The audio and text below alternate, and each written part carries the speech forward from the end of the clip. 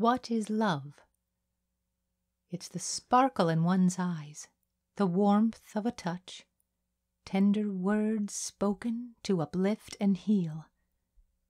It can be heard in a song's refrain, in the kiss of the sun and the protecting glow of the moon.